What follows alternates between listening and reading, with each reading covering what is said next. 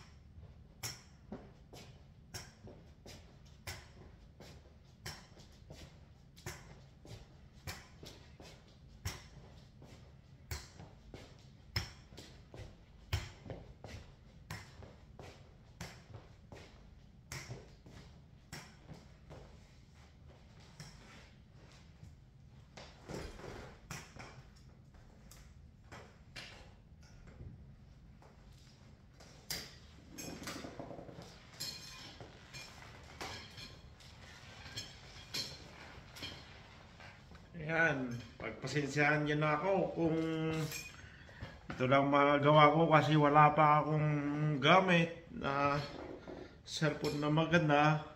So, ganito lang. At saka hindi ko pa alam mag-edit, hindi ko alam mag ano kaya eh, ganyan talaga. Hindi pa ako nakakita ng mga kaibigan na mag Alright. Taban lang. Kaya ganito ang buhay ko. Alright. Bye-bye.